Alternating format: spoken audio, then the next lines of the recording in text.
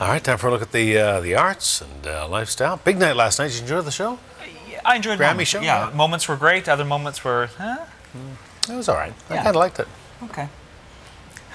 Show me what you thought were the highlights. Okay.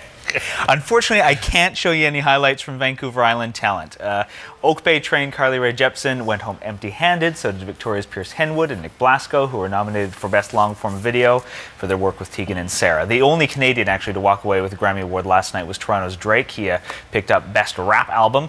Uh, nobody actually dominated. Uh, this year, the Grammy Awards spread the wealth. So, big night for the Black Keys. The band won three rock Grammys. Zac Brown Band won Best Country Album for Uncaged. And then there was R&B newcomer Frank Ocean. He won twice, including Best Urban Contemporary Album for Channel Orange.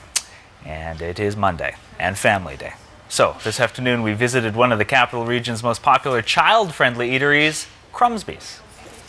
Rowan is not fond of bugs, No, but makes an exception for these. they're, they're love bugs Why did you choose the love bugs? because I like their hearts.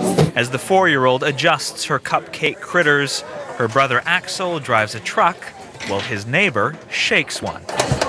I've always had little people wandering around, so it's not new to me. My background's all early childhood, and I've, I'm a mother of three, so So, four years ago, Maria Elwood decided to create Crumsby's, where people of all ages can eat together.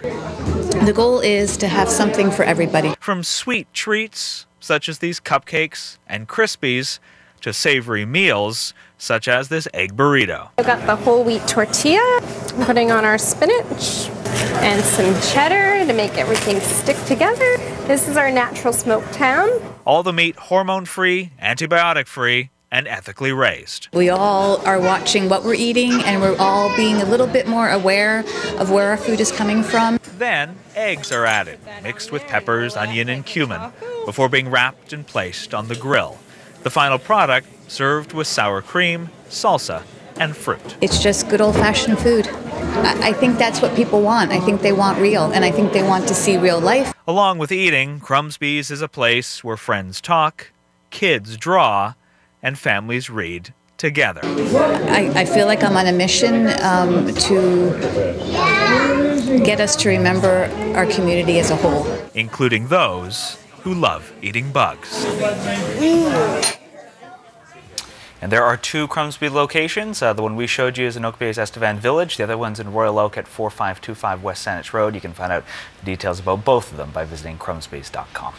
Well, finally, this hour, uh, a French trained chef in Tokyo using an unexpected ingredient at his fine dining restaurant dirt. Yeah, Toshiya Tanabe is attempting to balance ocean flavors as it is a seafood restaurant with the taste of earth. His multi-course dinner includes dirt soup, potato with dirt sauce, a main course, flounder and risotto with dirt, dessert, dirt ice cream. The nutrient-rich soil is lab tested before being mixed into the menu. The cost, $110 per person. Where do you find that stuff? Would you though? Some, uh, I don't know. I don't think They so. asked some of the people what they thought, and they felt We probably eat more dirt on a given day than we realize. That you know. Without, What do you mean by that? Well, I, I don't know. You know. I was just saying When you're the voice of eat dirt- authority saying that we, We- eat dirt. I just was wondering where you're getting that from. One of our kids used to eat a lot of dirt when he was little, and somebody told us it was because he was lacking minerals, and that's why kids do that. Let's talk about the Grammys. Did you enjoy it? Uh, how'd you like Carrie Underwood's dress? I thought it was fantastic. How did it look on your TV? No, no feed, no live feed. I thought we had the, thought we had the feed set up. Sorry. You've promised a new TV by the Oscars, though, right? Pardon me? there it is. Now we can't really see the, the dress.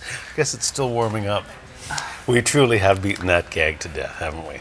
It's it's over. You know, as long it's as over. as long as you keep enjoying it, that's all that Thank you, Sparky. Uh-huh. CTV News at six is next.